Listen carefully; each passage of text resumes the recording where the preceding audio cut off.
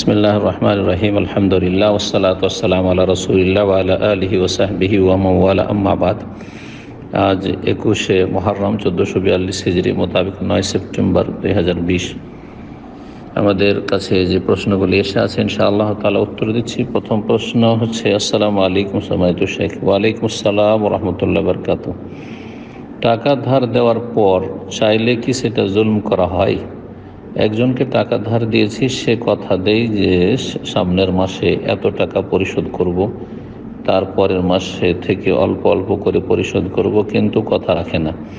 আমি মনে করিয়ে দিই, সতর্ক করলে বলে, আমি তার উপর জুলম করছি।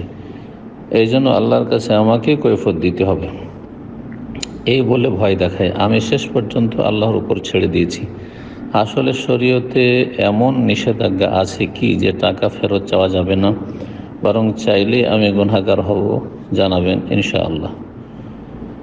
আল্লাহ রব্বুল আলমিন আপনার এই রকমের যারা ঋণদাতা, তাদের হেফাজত করুন। বর্তমান যুগে কারও সাথে সম্পর্ক খারাপ করতে হলে ঋণ দিয়ে দিতে হবে। এ কথাটি আমাদের ওস্তাদদের কাছ থেকে শোনা এই খেয়ানতের যুগে। আমানত উঠে গেছে কেয়ামতের লক্ষণ এবং খেয়ানত, বিশ্বাসঘাতকতা ব্যাপক আকার ধারণ করেছে। রসুল্লাহ সাল্লাহ সাল্লাম বলেছেন সেই বুখারি মুসলিম হাদিস মাতুল গানি জুলমুন যেই ব্যক্তিকে ঋণ দিয়েছেন, আপনি অথবা যে কোনো ব্যক্তি, সেই ব্যক্তি যদি সচ্ছল হয়, তার সংসার চলে যাচ্ছে, তার চিকিৎসা চলে যাচ্ছে, তার সব কিছুর প্রয়োজন মেটাচ্ছে, আর্থিক কোনো অভাব নেই তেমন, অল্প কিছু খরচ কমিয়ে দিলে সংসারে সে পরিশোধও করতে পারবে, তারও অভাব নেই বলতে হবে। তার জমি জায়গা আছে, তাহলে তো অভাবে নেই। জমি জায়গা বিক্রি করে ঋণ পরিশোধ করতে হবে। শুধু ভিটে মাটিটা ছাড়া যেটাতে বাস করবে, সেটা ছাড়া যে কোনো তার সম্পদ থাক। বিক্রি করে আপনার ঋণ পরিশোধ করা ফরজ। যদি কেউ এইরকম সচ্ছল হয় মানে ঋণ পরিশোধ করতে পারবে, সেটা একসাথে হোক অথবা কিস্তিতে হোক, আর সে যদি না করে এইরকম বাহানা দিবদিছি করে, তাহলে তার সম্পর্কে রসুর উল্লাসা বলেছেন, মাতুলুল গানি মুন। অভাব মুক্ত ব্যক্তির টাল বাহানা করা দিবদিছি করা, অদা করে এই রকম অদা খেলাফি করা, গড়িমসি করা, এ হচ্ছে জুলম। তাহলে জালেম সে, আপনার জুলম হয় না, টাকা চেয়ে আপনার ন্যায্য অধিকার। বরং সে জালেম। জি, উল্টো রোগী আপনার ওপর রোগের দোষারোপ করছে। যাতে করে আপনি ভয় পান আর তার কাছে না চান। এ হচ্ছে বদ প্রকৃতির লোকদের চরিত্র। জি। যদি কারও কাছে ধার চাওয়া ধারে দেওয়ার পরে যদি তার কাছে বলা হয় যে টাকাটা দেন, তাহলে সে অসন্তুষ্ট। এটা দুনিয়াদার লোকেরা নয়। যারা দিনই পরিবেশ আজকাল থাক, দিন শিখছে হ্যাঁ আর কিছু সহি আকিদার দাবিও করছে মাসা আল্লাহ বাহ্যিক দেখা যায় খুব সহি আকিদা সহি আকিদা তারা করে থাকে। কিন্তু তাদের সহি আকিদা, দু চারটি আকিদাতে সীমিত। কবর মজার পূজা করে না, পীর ধরে না মজাবের অন্ধ অনুকরণ করে না। পাচক তো সলাতো পড়ে, তারপরেও মুনাফিকি চরিত্র রয়েছে যে মানুষের টাকা পয়সা ধার নিয়ে হাত ভারী করা। এরা ঋণের ভয়াবহতা বুঝে না। রসুল্লাহ সালে কঠিন কথা বলেছেন।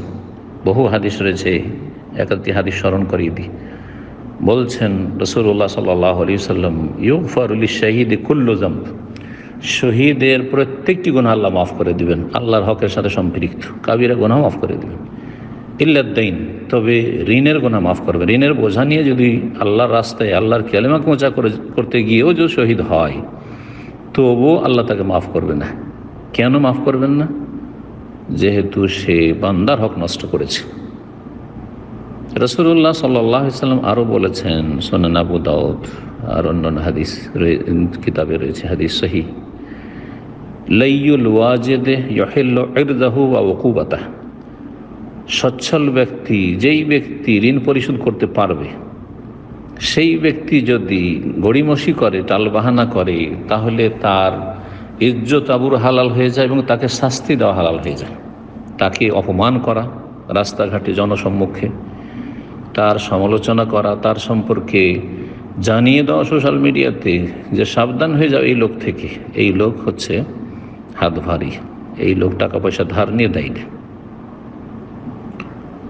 তার ইজ্জত আবরু মানহানি করা হালাল হয়ে যায়। ইহিল্ল ইরদা ও ওকুবাত তাকে শাস্তি দেওয়া হালাল হয়ে যায়। যদি প্রশাসনের আশ্রয় নিয়ে তাকে শাস্তি দেন তাকে জেলে ঢোকান, তার কোনো পানিশমেন্ট হয় সরকারের পক্ষ থেকে, তো সেটাও হালাল। জি।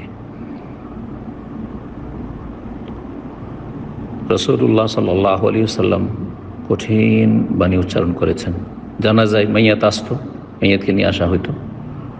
জানাজার জন্য রসুল্লাহ জিজ্ঞেস করেন, হাল আলিহে দাইন? তার উপর ঋণের বোঝা টোঝা আছে? যদি বলা হইতো যে, না, নেই। তাহলে সাল্লাহ আলী তাহলে জানাজার সালাদ পড়তেন। আর যদি বলা হয়তো যে আলিহে দাইন, কাজা বা কাজা, এত টাকা তার কাছে কেউ পাবে?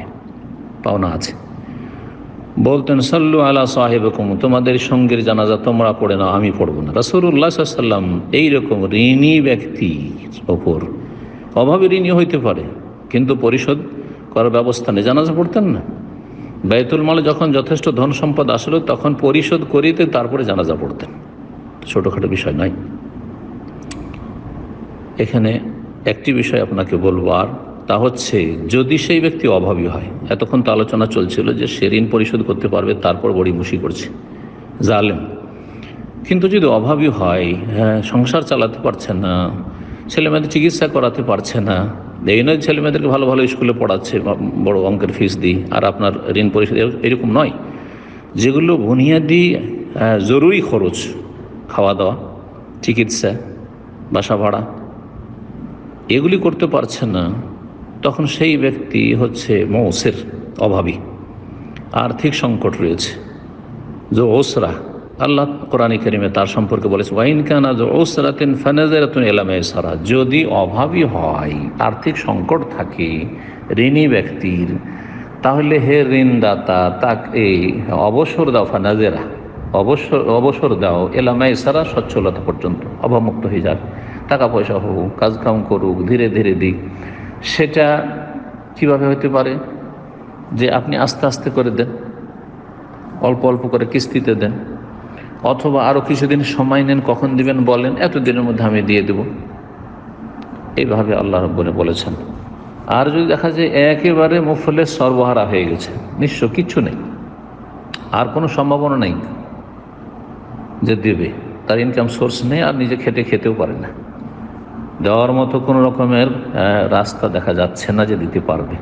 আল্লাহ বলছেন ওয়ান তা সাদ্দাকু খাইরুল রকম তাহলে তাকে সাদকা করে দাও, তোমাদের জন্য কল্যাণকর হবে হে রিন্দা তারা তো আশা করি বিষয়টা বুঝতে পেরেছেন। আবার বলছি, যারা ঋণ গ্রহণ করছেন, আল্লাহকে ভয় করুন। আল্লাহ রব্বুল আলমিন সহি আকিদা দিয়ে আর পাঁচ অক্ত সলাদ দিয়ে আর এই দিন দিন আর দাওয়াত এসব দিয়ে আল্লাহ মাফ করবেন না, যদি ঋণের বোঝা নিয়ে রব্বুল আলমিনের সামনে হাজির হন। আল্লাহ যেন বোঝার তৌফিক দান করেন, আল্লাহ যেন আমলের তৌফিক দান করেন। আল্লাহ রব্বুল আলমিন মানুষের হকের হেফাজতের তৌফিক দান করেন, রবের হকের রবের রবের হকের হেফাজতের সাথে সাথে। আল্লাহ রব্বের দুনিয়া আখেরাত আমাদের সার্বিক কল্যাণ করেন। সুবহান রব্বিক রব্বিল ইজাতাম্মা ইয়াসিফুন। ওয়া সালামুন আলাল মুরসালিন। আলহামদুলিল্লাহি রাব্বিল আলামিন।